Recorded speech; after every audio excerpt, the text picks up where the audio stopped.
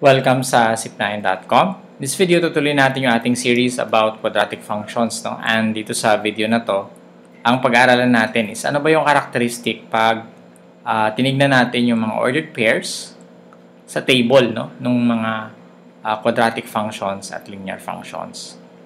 So, ang pinaka-main topic natin dito is linear function. Pero para lang ma-differentiate natin sa table, meron tayong dalawang linear functions which is y equals 2x tsaka y equals 3x plus 1. No?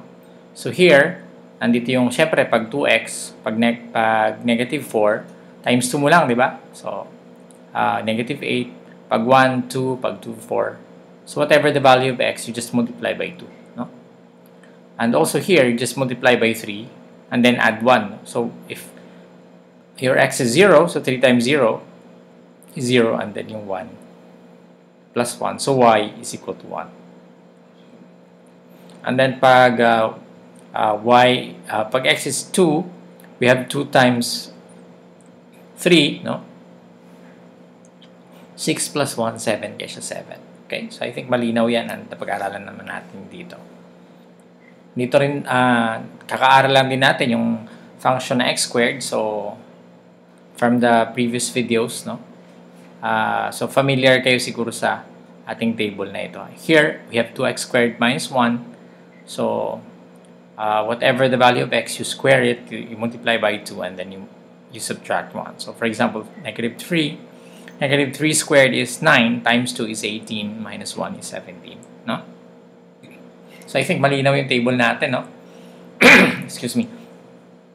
So, here, uh, ang napapansin niyo yung x natin ay sunod-sunod yan. Ang interval natin sa x is isa. No? So, mga integer siyans na naka-order. So, ano napapansin nyo sa y? Ano napapansin nyo? May relationship ba yung mga magkakasunod na integers? Yes, no? All their differences, lahat ng mga difference nila ay 2. So, 8 minus 6 is 2, 6 minus 4 is 2, 2 minus 0 is 2, no? What else? Negative 6 minus negative 8 is 2. What about here? We have 3x plus 1. So we have 13 minus 10 is 3. And then, yan. 10 minus 7 is 3. So lahat yan 3 actually. So yan yung yan yung characteristic ng linear functions. Yung difference ng y niya, pag sinunod-sunod mo yung ano niya, yung x niya in order, yung difference ng y niya, sorry, pag sinunod, sinunod-sunod mo siya in order, tapos pare-pareho yung differences sa taas, makikita mo na pare-pareho din yung differences sa baba. So, isa lang ang difference sa bawat magkasunod na magkasunod na na ano no, na value. So, tingnan natin kung ganun din ba siya dito sa quadratic function, no? So, tingnan natin yung x squared. y equals x squared kung sunod-sunod ba siya. So again, wala nang bago sa x natin, sunod-sunod siya. Tapos 1 ang ano natin, interval. So, I don't know if, if interval is correct, no? but uh, ibig sabihin 1 yung pagitan nila. No? So here we have, uh, if we take the difference, we have 16 minus 9 is 7. 9 minus 5 is, uh, oh, 9 minus 4 is 5. And then we have 3. And then we have 1. And then we have uh, negative 1, and then we have negative 3, negative 5, and negative 7. So mukhang wala. Walang, walang ano. Hindi siya constant difference, no? Pero kung titingnan natin yung pangalawa, no? Pangalawang difference niya, 5 and 7 is 2. 5 minus 3 is 2. Sorry, 2. And then 3 minus 1 is 2.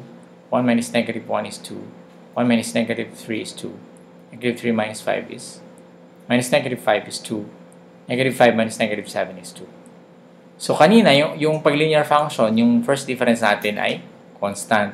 Here, pag quadratic function, ang ating uh, second difference no, ay constant. Okay? So, tingnan pa rin natin. Mag, tingnan pa natin dito sa isang example natin kung constant na talaga yung second difference ng ating uh, function. So here we have thir- this is 31, no? Kasi uh, 4 squared is 16 times 2 is 32. Minus 1 is 31. So this is 31.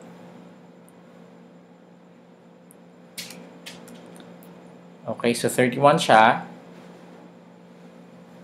And um, 31 minus 17, ilan? So 31 minus 17, that's 14. And then that's 10. And then that's 6.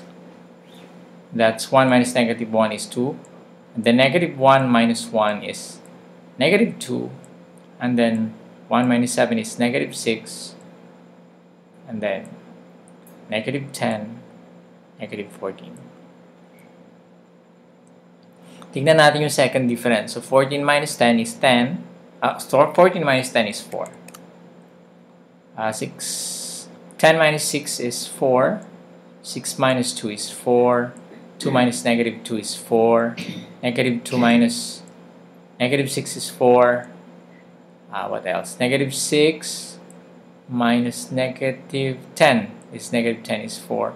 And negative 10 minus negative 14 is also 4.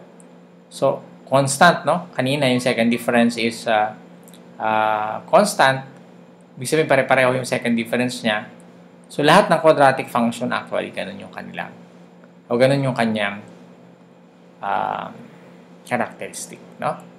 So, ayun, pwede na nating uh, sabihin yung characteristic ng, uh, o, or maybe we should call it properties, no?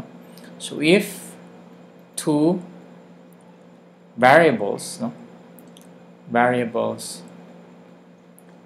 are related.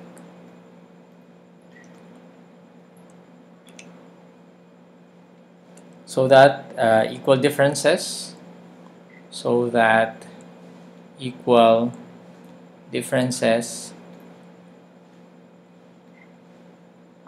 in the independent variable. Independent variable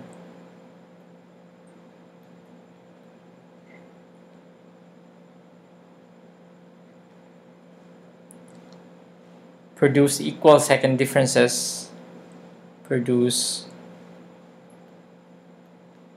equal differences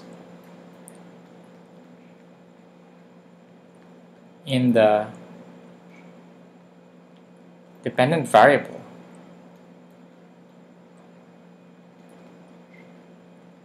Ano masasabi nyo?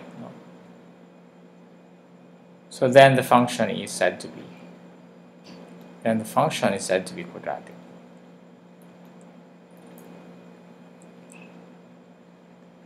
To be quadratic. So pag second difference niya ay uh, constant, pare-pareho, it is said to be a quadratic function. No? So I think that's very important. Kasi pag ang ang uh, pag nakuha mo na yan yung yung second difference I think you can you can also uh, use that to find the equation of the function no? So ang pagkakaiba nila ng linear function ang linear function first difference yung constant. Ito ang uh, quadratic function ng constant is the the second difference no? So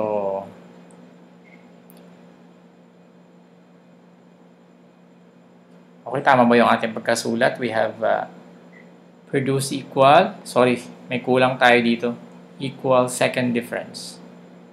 Second difference. In the independent variable, then the function is said to be quadratic. Okay, so I hope meron kayo natutunan sa video na to, no? Uh, so kung may makita kayo next time na table, tapos sunod-sunod yung x niya, tignan nyo kung yung second difference kanya ay uh, constant. Pag first difference pa lang, yan ay linear. Pag second difference ay, difference ay uh, quadratic. At pag third difference, actually cubic yan. So, yun actually yung degree ng kanyang uh, leading coefficient. No? So, kung pang ilang difference ang constant. So, maraming salamat. I hope meron kayo natutunan. See you in the next tutorial.